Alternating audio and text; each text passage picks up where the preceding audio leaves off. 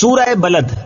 सूरह बलद का तारुफ, मकाम नजूल। सूरह बलद मक्का मुकर्रमा में नाजिल हुई है। आयात, कलिमात और हरूफ की तादाद। इस सूरत में एक रुकू, बीस आयतें, बयासी कलमे और तीन सौ बीस हरूफ हैं। बलद नाम रखने की वजह। बलद का माना है शहर और इस सूरत की पहली आयत में अल्लाह ताला ने अपने हबीब सल्लल्लाहु ताला अलैहि वसल्लम के शहर मक्का की कसम इरशाद फरमाई है। इस मुनासबत से इसे सूरह बलद कहते हैं। सूरह बलद के मजामीन। इस सूरत का मरकजी मजमून यह है कि इसमें इंसान की सआदत और बदबख्ती के बारे में कलाम किया गया है और इसमें ये मजामी बयान हुए हैं। नंबर एक, इसकी इब्तदा में अल्लाह ताला ने शहर मक्का की। हज़रत इब्राहिम सलाम और अपने हबीब सल्लल्लाहु की कसम ज़िक्र करके फरमाया कि बेशक हमने आदमी को मुशक्कत में रहता पैदा किया है। नंबर दो, बुरी जगह और बुरी नीयत से माल खर्च करने वाले की मजम्मत बयान की गई। और ये बताया गया कि वो ये ना समझे कि उसे कोई नहीं देख रहा, बल्कि अल्लाह ताला उसे देख रहा है। नंबर तीन, ये बयान किया गया कि अल्लाह ताला ने इंसान को दो आँखें, जबान और दो होठ दिए हैं और उसके सामने अच्छाई और बुराई दोनों के रास्ते वाजे कर दिए हैं। अब उसे इख्तियार है कि वो अपनी अकल को इस्तेमाल करते हुए अपने लिए जिस रास्ते को चाहे चुन ले। नंबर चार, इस सूरत के आखिर में माल खर्च करने के मसारिफ बयान किए गए और ये बताया गया कि उन जगहों पर माल खर्च करने वाला अगर उन लोगों में से हो जो ईमान लाए और उन्होंने आपस में सब्र की नसीहतें की और आपस में मेहरबानी की ताकीदें की तो वो अर्श की दाई जानब होंगे और उनके दाएँ हाथ में नामा अमाल दिया जाएगा। नीज ये बयान किया गया कि काफिरों को बाएँ हाथ में अमाल नामा दिया जाएगा और उन पर हर तरफ़ से बंद की हुई आग होगी। सूरह फज्र के साथ मुनासबत। सूरह बलद की अपने से माकबल सूरत फजर के साथ मुनासिबत यह है कि सूरह फजर में माल की मोहब्बत विरासत का सारा माल हड़प कर जाने और मिसकीन को खाना खिलाने की तरफ़ रागिब न करने की मजम्मत बयान की गई। और सूरह बलद में यह बताया गया है कि मालदार शख्स को अपना माल किन कामों में खर्च करना चाहिए।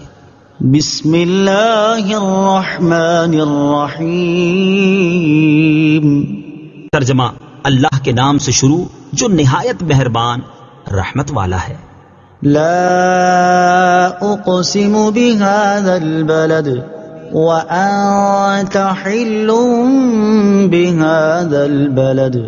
तर्जमा मुझे इस शहर की कसम जबकि तुम इस शहर में तशरीफ़ फरमा हो।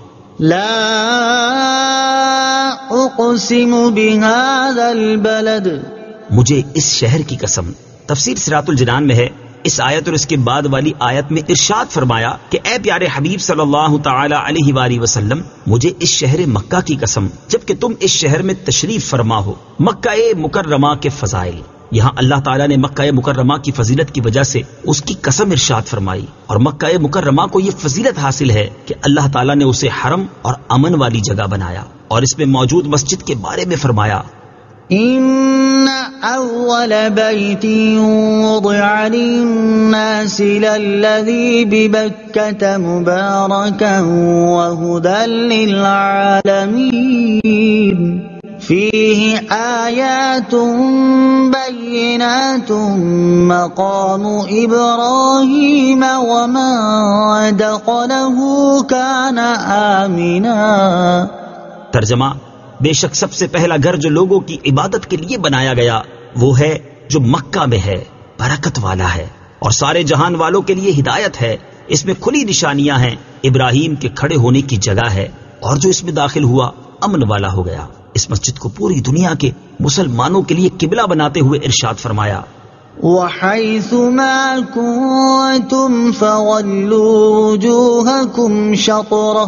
तर्जमा और मुसलमानों तुम जहाँ कहीं हो अपना मुँह उसी की तरफ़ कर लो। और इसमें मौजूद मकाम इब्राहिम के बारे में मुसलमानों को हुक्म दिया।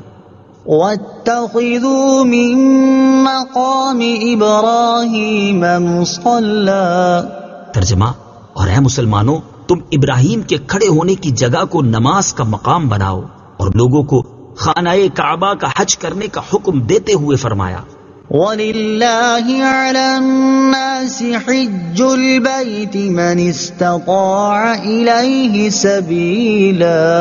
तर्जमा और अल्लाह के लिए लोगों पर उस घर का हज करना फर्ज है जो उस तक पहुंचने की ताकत रखता है और खाना काबा के बारे में इरशाद फरमाया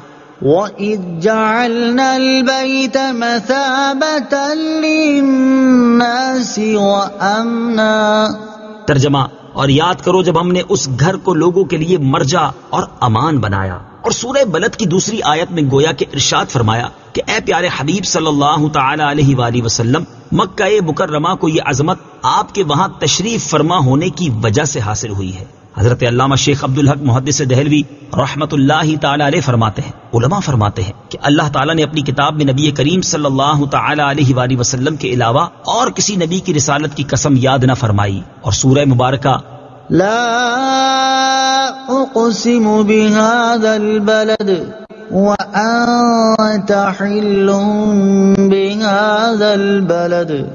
इसमें रसूल करीम सल्लल्लाहु अलैहि वसल्लम की इंतहाई ताजीम और तकरीम का बयान है, क्योंकि अल्लाह ताला ने कसम को उस शहर से, जिसका नाम बलद हराम और बलद अमीन है मुकैद फरमाया है। और जब से हजूर अकरम सल्लल्लाहु वसल्लम ने इस मुबारक शहर में नजूल इजलाल फरमाया, तब से अल्लाह ताला के नज़दीक वो शहर मुआजो मुकर्रम हो गया। और उसी मकाम से ये मिसाल मशहूर हुई कि शरफुल मकान बिल मकीन यानी मकान की बुजुर्गी उसमें रहने वाले से है। मजीद फरमाते हैं कि अल्लाह ताला का अपनी जात सिफात के अलावा किसी और चीज़ की कसम याद फरमाना उस चीज़ का शर्फ और फजीलत ज़ाहिर करने के लिए और दीगर अशिया के मुकाबले में उस चीज़ को मुमताज़ करने के लिए है, जो लोगों के दरमियान मौजूद है, ताकि लोग जान सकें कि ये चीज़ इंतहाई अजमत शराफत वाली है।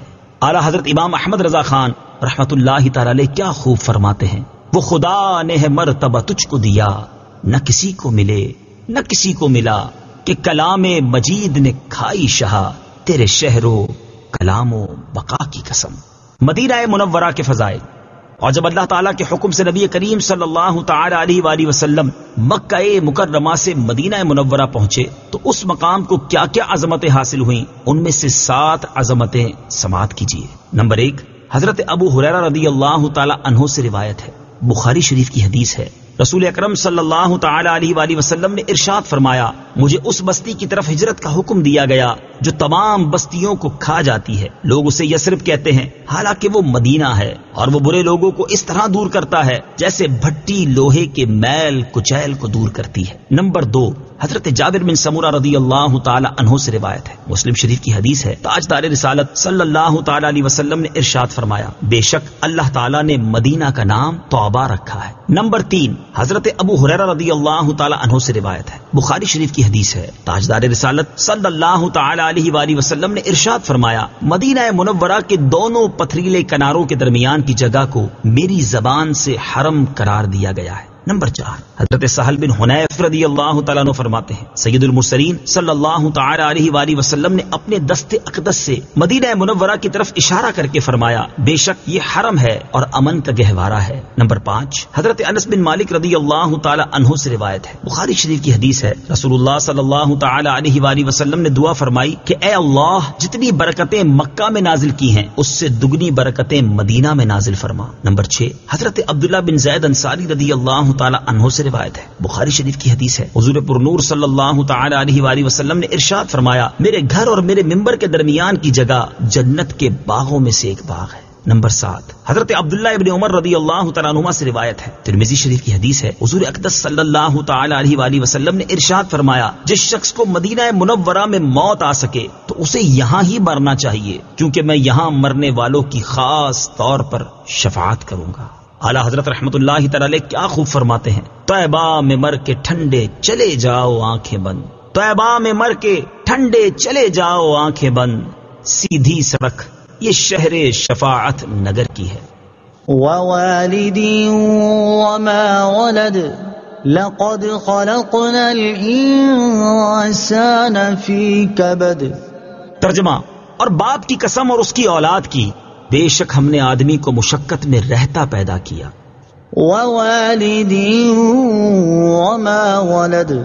और बाप की कसम और उसकी औलाद की। तफसीर सिरातुल जनान में है। इस आयत के बारे में मुफसरीन का एक कौल यह है कि यहाँ बाप से मुराद हज़रत इब्राहिम सलाम है और उनकी औलाद से मुराद हज़रत इस्माईल सलाम है। और चूँकि नबी करीम सल्लल्लाहु अलैहि वसल्लम भी बिल वास्ता हज़रत इब्राहिम की औलाद में से हैं इसलिए औलाद की कसम में आप सल्लल्लाहु अलैहि वसल्लम भी दाखिल है। दूसरा कौल यह है कि यहाँ बाप से मुराद हज़रत आदम सलाम है और औलाद से आप सलाम की जुर्रियत मुराद है। और तीसरा कौल यह भी है कि यहाँ वालिद से सरकार दो आलम सल्लल्लाहु अलैहि वसल्लम और औलाद से आप सल्लल्लाहु अलैहि वसल्लम की उम्मत मुराद है। इसकी ताईद हदीस पाक से भी होती है। जैसा कि सुनन निसाई में हज़रत अबू हुरैरा रदी अल्लाह तआला से रिवायत है। हुजूर अकदस सल्लल्लाहु अलैहि वसल्लम ने इरशाद फरमाया, मैं तुम्हारे लिए बाप की तरह हूँ। मैं तुम्हें तुम्हारे दीनी मामलात सिखाता हूँ। फ़ी कबद। बेशक, हमने आदमी को मुशक्कत में रहता पैदा किया। तफसीर सिरातुल जनान में है। अल्लाह ताला ने शहर मक्का की, हज़रत इब्राहिम सलाम और अपने हबीब सल्लल्लाहु की कसम याद करके इरशाद फरमाया कि बेशक हमने आदमी को मुशक्कत में रहता पैदा किया कि वो हमल के दौरान एक तंगो तारीक मकान में रहे, विरादत के वक्त तकलीफ़ उठाए, दूध पीने, दूध छोड़ने माश के हसूल और ज़िंदगी और मौत की मुशक्कतों को बर्दाश्त करे। मसाइब और तकालीफ में बेशुमार हिकमतें हैं। याद रहे कि इन मसाइब और तकालीफ में अल्लाह ताला की बेशुमार हिकमतें हैं। हमारा नफ्स अम्मारा मस्त घोड़ा है। अगर उसके मुँह में इन तकालीफ की लगाम ना हो तो ये हमें हलाक कर देगा। क्योंकि इन तकालीफ की लगाम के बावजूद इंसान का हाल ये है कि जुल्म और कत्ल गारत गरी इंसान ने की। चोरी डकेती की वारदातों का मुर्तकिब इंसान हुआ। फहाशी और उरियानी के सैलाब इंसान ने बहाए। नबूवत का झूठा दावा हत्या के खुदाई तक का दावा इंसान ने किया। और अगर इन तकालीफ की लगाम हटा ली जाए तो इंसान का जो हाल होगा वो तस्वुर से बाला तर है। अयहसब यक़दिर अलैहि अहद यक़ूल अहलकतु मालन लुबदा। अयहसब अल्लम यरहु अहद। तर्जमा क्या आदमी ये समझता है कि हरगिज इस पर कोई कुदरत नहीं पाएगा? कहता है कि मैंने ढेरों माल खत्म कर दिया। क्या आदमी ये समझता है कि उसे किसी ने ना देखा?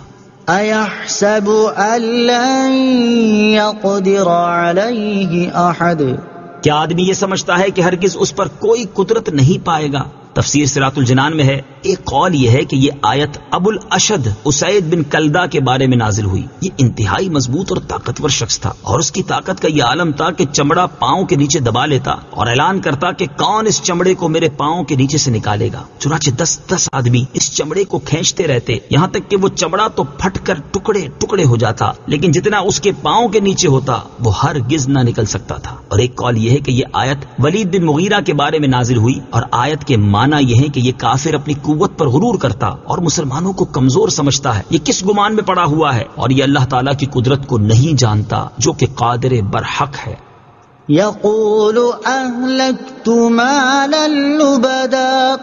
कहता है कि मैंने ढेरों माल खत्म कर दिया। तफसीर सिरातुल जनान में है। यहाँ से उस काफिर का कौल ज़िक्र किया गया। चुनाची इस आयत और इसके बाद वाली आयत का खुलासा यह है कि वो काफिर कहता है कि मैंने नबी करीम सल्लल्लाहु अलैहि वसल्लम की अदावत और दुश्मनी में लोगों को दे दे कर ढेरों माल खत्म कर दिया, ताकि वो लोग हजूर अकदस सल्लल्लाहु अलैहि वसल्लम को तकलीफ़ पहुँचाए। क्या इस काफिर का ये गुमान है कि इसे अल्लाह ताला ने नहीं देखा? और अल्लाह ताला इससे सवाल नहीं करेगा कि इसने ये माल कहाँ से हासिल किया और किस काम पर खर्च किया। ऐसा हरगिज नहीं। अल्लाह ताला उस उसकी खबीस नीयत और बातनी फसाद से बाखबर है और वो उसे इसकी सजा देगा। बुरी नीयत से और बुरी जगह पर माल खर्च करने का अंजाम।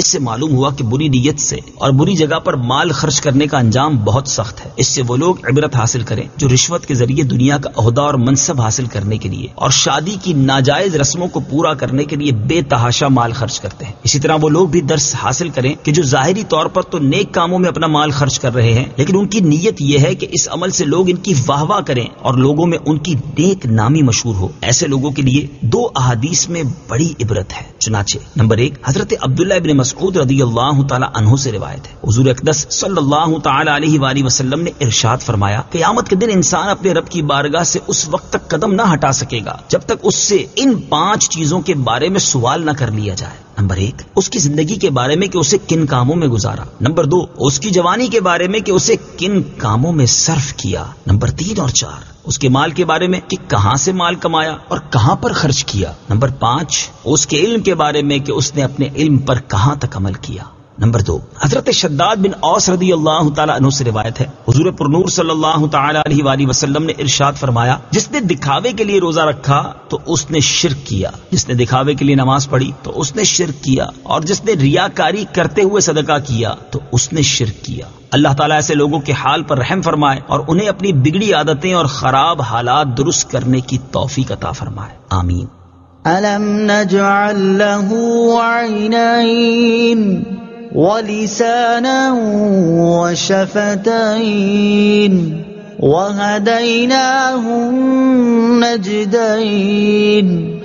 तर्जमा क्या हमने उसकी दो आँखें ना बनाई और जबान और दो होठ और हमने उसे दो रास्ते दिखाए?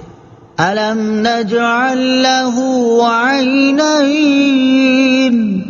क्या हमने उसकी दो आँखें ना बनाई? तफसीर सिरातुल जनान में है। यहाँ से अल्लाह ताला ने अपनी चंद नेमतों का ज़िक्र फरमाया है, ताकि इस काफिर को इबरत हासिल करने का मौका मिले। चुनाचे इस आयत और इसके बाद वाली दो आयात का खुलासा यह है कि क्या हमने इस काफिर की दो आँखें न बनाई, जिनसे वो देखता है? और क्या हमने इसे जबान न दी जिससे वो बोलता है? और अपने दिल की बात बयान में लाता है? और क्या हमने उसे दो होंठ न दिए जिनसे वो अपने मुँह को बंद करता है और बात करने, खाने, पीने और फूकने में उनसे काम लेता है? और क्या हमने उसे माँ के दूध से भरे पस्तानों की राह न बताई कि पैदा होने के बाद वो उनसे दूध पीता और गजा हासिल करता रहा?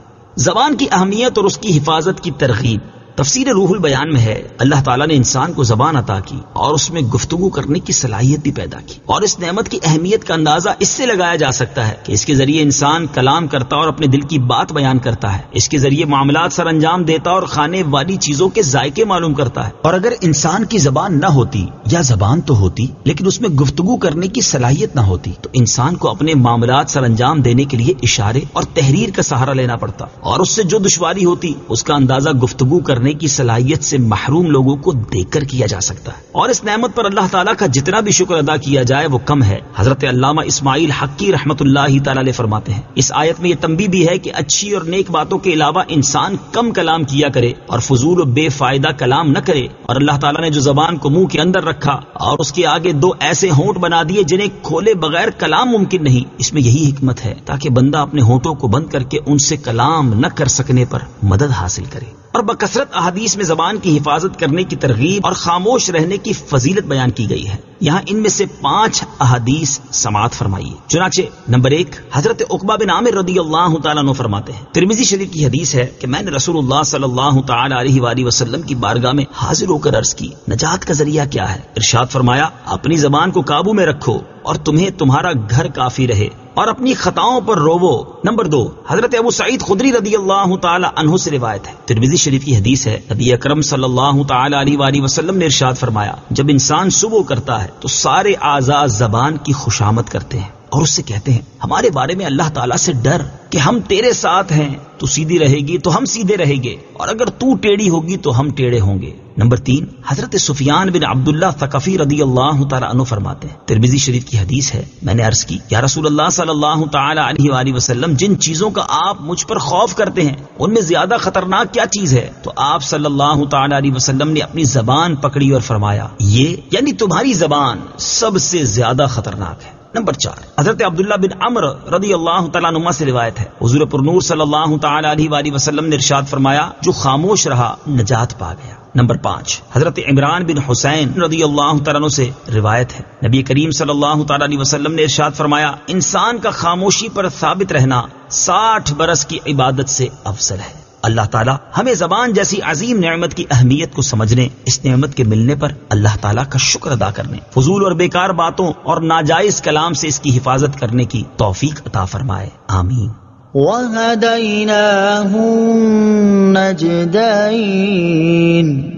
और हमने उसे दो रास्ते दिखाए। तफसीर सिरातुल जनान में है। यहाँ आयत में नजदैन के बारे में मुफसरीन का एक कौल यह है कि इससे माँ की दोनों छातियाँ मुराद हैं और एक कौल यह है कि इससे अच्छाई और बुराई के दो रास्ते मुराद हैं जो जन्नत या जहन्नम तक पहुँचाते हैं।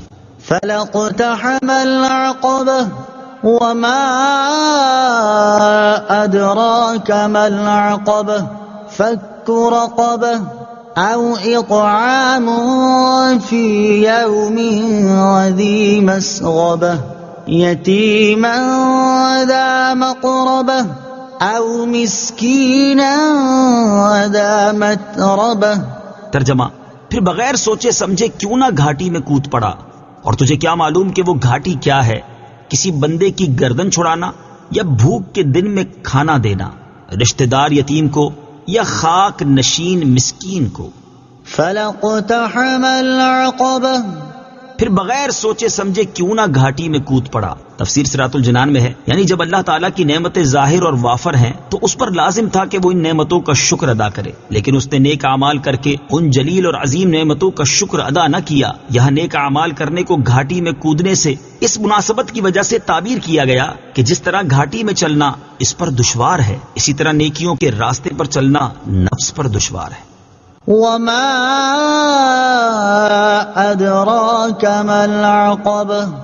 और तुझे क्या मालूम कि वो घाटी क्या है?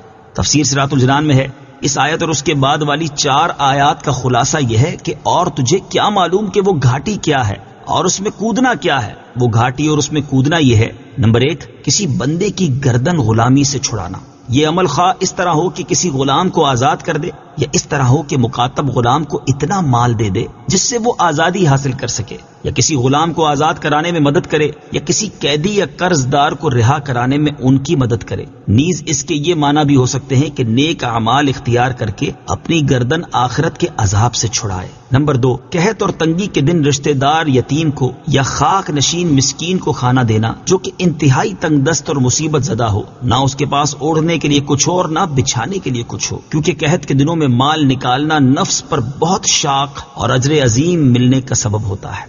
गुलाम आज़ाद करने या आज़ादी में उसकी मदद करने के फजाइल।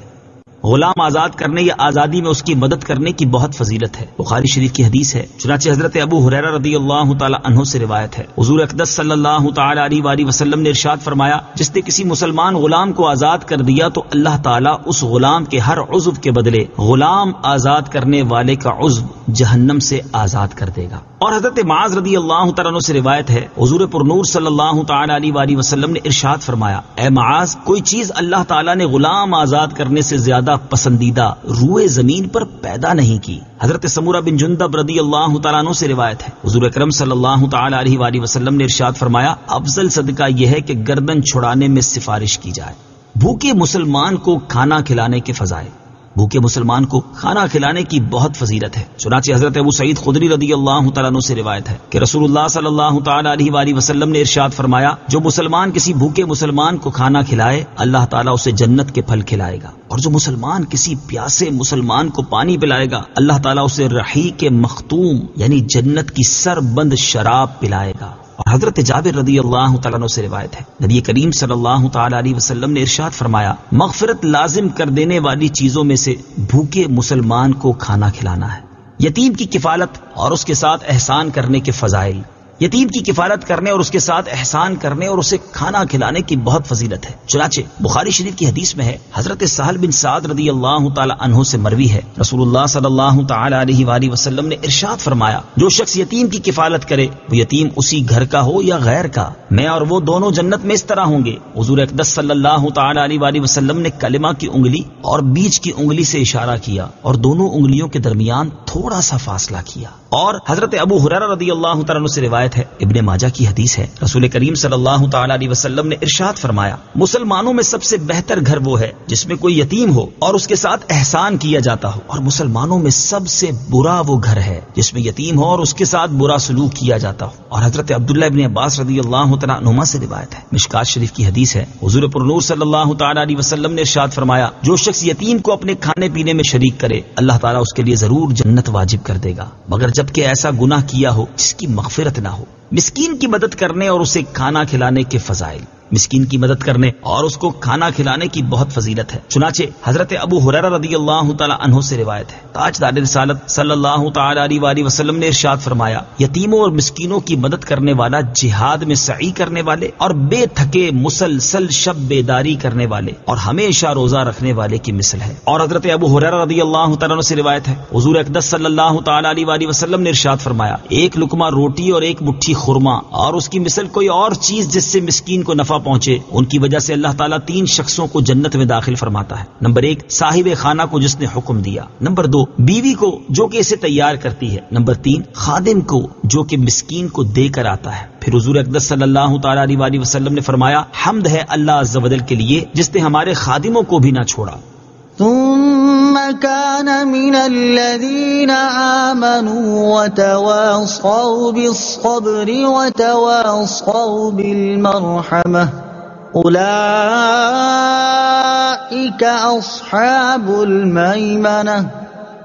तर्जमा फिर ये उनमें से हो जो ईमान लाए और उन्होंने आपस में सब्र की नसीहतें की और आपस में मेहरबानी की ताकीदें की ये दाई तरफ वाले हैं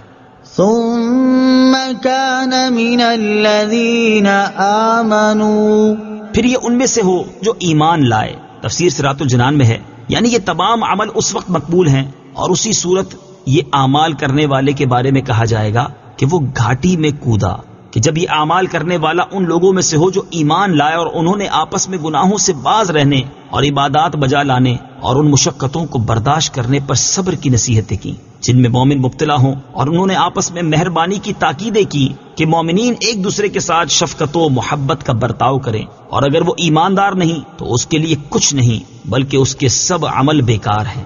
ईमान के बगैर नेक जगह पर माल खर्च करने का सवाब नहीं मिलेगा। इससे मालूम हुआ कि ईमान के बगैर अच्छी जगहों पर माल खर्च करने का सवाब नहीं मिलेगा बल्कि ईमान कबूल करने के बाद जो माल राह खुदा में खर्च किया जाएगा उसी का सवाब मिलेगा इसी चीज को बयान करते हुए एक और मकाम पर अल्लाह ताला इरशाद फरमाता है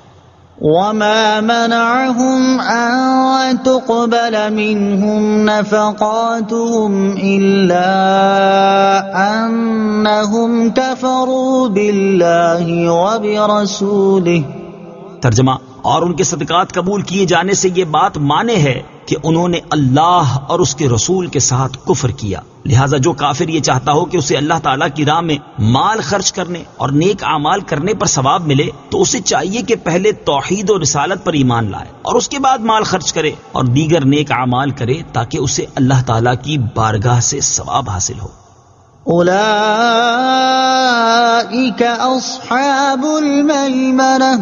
ये दाई तरफ़ वाले हैं। तफसीर सिरातुल जनान में है। यानी जिनमें ये औसाफ पाए जाते हैं, ये दाई तरफ़ वाले हैं। जिन्हें उनके नामा अमाल दाएँ हाथ में दिए जाएँगे और वो अर्श की दाई जानब से जन्नत में दाखिल होंगे। इससे मालूम हुआ कि आपस में सब्र की नसीहतें और मेहरबानी की ताकीदें करने वाले मुसलमानों का अल्लाह ताला की बारगाह में मकाम, रुतबा और दर्जा बहुत बुलंद है।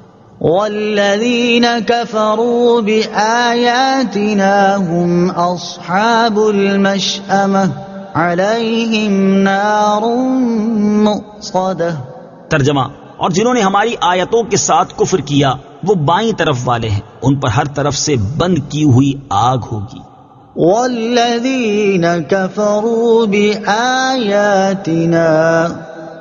और जिन्होंने हमारी आयतों के साथ कुफर किया तफसीर सिरातुल जनान में है। इस आयत और इसके बाद वाली आयत का खुलासा यह है कि जिन्होंने हमारी आयतों के साथ कुफर किया, वो बाई तरफ़ वाले हैं कि उन्हें उनके नामा अमाल बाएँ हाथ में दिए जाएँगे और वो अर्श के बाएँ जानब से जहन्नम में दाखिल किए जाएँगे और उन पर हर तरफ़ से बंद की हुई आग होगी कि ना उसमें बाहर से हवा आ सकेगी और ना अंदर से धुआँ बाहर जा सकेगा।